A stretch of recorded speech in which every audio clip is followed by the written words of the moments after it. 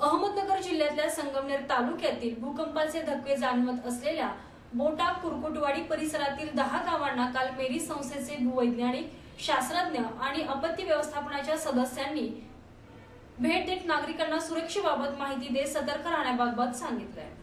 जिल्ह्यातल्या पठार भागात गेल्या काही दिवसांपासून भूगर्भीय हालचाली वाढल्या असून त्यातच भूकंपाचे धक्के जाणवत आहेत. त्यामुळे या भागातील नागरिकांमध्ये भीतीचं वातावरण पसरलंय. या परिस्थितीची काल भूगर्भ शास्त्रज्ञांनी पाहणी करत नागरिकांना प्रबोधन केलंय. सध्या या परिसरात जाणवत असलेले टू पॉईंट थ्री आणि टू पॉईंट एट रेक्टर स्केलचे झटके सौम्य प्रकारात मोडतात. तर आत्ता बसत असलेले झटके आफ्टर शॉक आहेत फोर ते फोर पॉईंट फाईव्ह रेक्टर स्केलच्या पुढील धक्का हा गंभीर समजला जातो.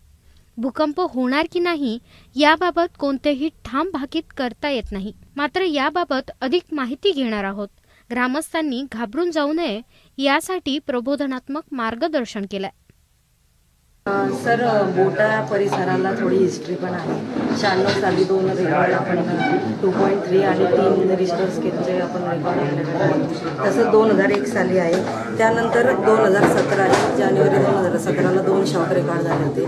त्यानंतर आठ एक दोन हजार सतराला एक शॉक आणि नऊ तारखेला दोन पॉईंट आठचा शॉक पण दोन पॉईंट आठचा शॉक आपण सौम्य कसा प्रकारामध्ये म्हणतो कारण चार साडेचारच्या वरती जर रिस्टर स्केल असेल तर आपण त्याच्या त्याच्यामध्ये थोडंसं गांभीर्याने घेतो किंवा त्याला आपण मध्यम शॉक असं म्हणतो. सर भूकंपाबद्दल आपल्याला असं भाकीत काही करता येत नाही की होणार नाही किंवा जातील असंही काही म्हणता येत नाही. पण त्या दृष्टीने जर नागरिकांनी अवेअरनेस निर्माण केला तर आपण त्याच्यापासून आपला बचाव करू शकतो. आणि त्या निमित्ताने आमचा हात जशी आपल्याला माहिती मिळालेली आहे त्यानुसार मागच्या पंधरा अकरा दोन हजार सोळाला आपण मेरी भू भूसंशोधन केंद्र भूगर्भ संशोधन केंद्राचे जे अधिकारी आहेत त्यांना या ठिकाणी पाचारण केलं होतं. आणि त्यांना या ठिकाणी परिस्थितीबाबत काय माहिती आहे ती जाणून घेण्याबाबत कळवलं होतं.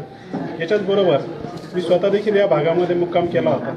त्या दिवशी काही आपल्याला धक्के जाणवता किंवा काय हे पण जाणून घेण्याचा प्रयत्न केला. तर योगायोगाने त्या ठिकाणी काही मला धक्के जाणवले नाही परंतु नंतर मात्र आपल्याला ज्या भूकंप मापन यंत्र आहे मेरीचं त्या ठिकाणी जे तीन चार भूकंप जाणवले त्याच्यानंतर मात्र प्रशासनाची भूमिका अशी होती की याच्यासाठी जिल्हा आपत्ती व्यवस्थापन कक्षामार्फत जास्तीत जास्त कार्यशाळा घ्याव्यात. याच्यासाठी आम्ही त्यांच्याशी पत्रव्यवहार केला आणि डॉक्टर बडदे आहे आपले आपत्ती व्यवस्थापन कक्षाचं काम बघतात जिल्हाधिकारी कार्यालयामध्ये.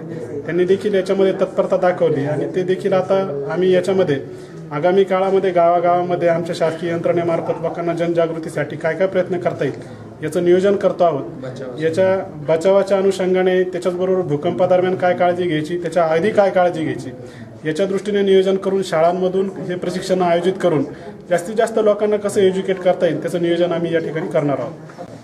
याच्यामध्ये जे धक्के जे जाणवलेत ते धक्के आणि या ठिकाणी होणारे आवाज याच्या विश्लेषणासाठीच आपण आज जीएसडीएचे अधिकारी त्याचबरोबर पुन्हा मिरी संशोधन संस्थेच्या ज्या मॅडम आहेत त्यांना बोलवलेलं आहे.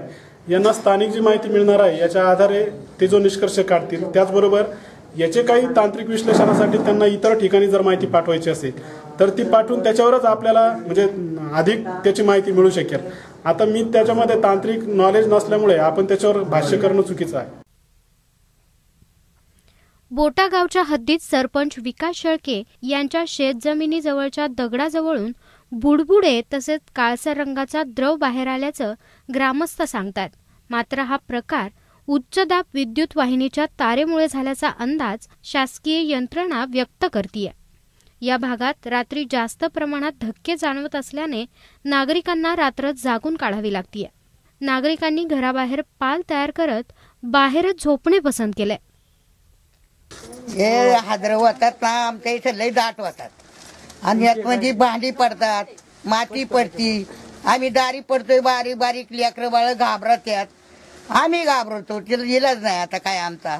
काय करणार आहे आम्ही? थंडी नाही वाजत का सध्या? थंडीने वाजत ती माही पार किती चार चार वजाडे येतो तरी कंटाना उडत यात आता म्हातारी माणसं एवढी बी. दोन दोन चार चार आहेत घरात म्हणजे काय करायचे? गेले तीन चार महिन्यापासून आम्हाला भूकंपाचे सतत हादरे बसत आहे बसत आहेत. परंतु आमच्याकडे कुणी लक्ष लक्ष दिलंच नाही. आजपर्यंत कुणीच लक्ष दिलं नाही. आज पहिल्यांदाच आमच्याकडे कुणीतरी अधिकारी आलेले आहेत माहिती सांगायला. ते पण तरी पण आमच्या लोकांमध्ये घबराट घबराट पसरलेली आहे. आमच्यावर किल्लारी सारखी किल्लारी भूकंपाची जशी जशी अवस्था झाली तशी आमची अवस्था होऊ नये एवढीच आमची अपेक्षा आहे. भूकंप आम आमची घरं सगळी मातीची आहेत. मातीची भेंडा मातीच्या भेंडापासून बनवलेली घरं आहेत. त्याच्यामुळं ती पडायची आम्हाला भीती वाटत आहे. भी त्या ढिगाऱ्याखाली जर आमची लेकरं बाळं काढली तर किती आमची किती आमची अवस्था वाईट होईल. या परिस्थितीला भूगर्भीय हालचालींमुळे धक्का बसण्याचा इतिहास आहे. यापूर्वी एकोणीसशे शहाण्णव दोन हजार एक आणि आत्ता हे प्रकार घडतायत. याची नोंद नाशिकच्या भूकंप मापक यंत्रणावर झाली आहे असं अधिकाऱ्यांनी सांगितल्यानंतर नागरिक आणखीनच भयभीत झाले असून सोशल मीडियावर आपत्ती व्यवस्थापक ग्रुप तयार करत एकमेकांना माहिती मदत आणि दिलासा देण्याचा प्रयत्न येथील नागरिक करतायत. प्रतिनिधी Nitin Shelke bureau report Jeevan news महानगराची lifeline Sangamner.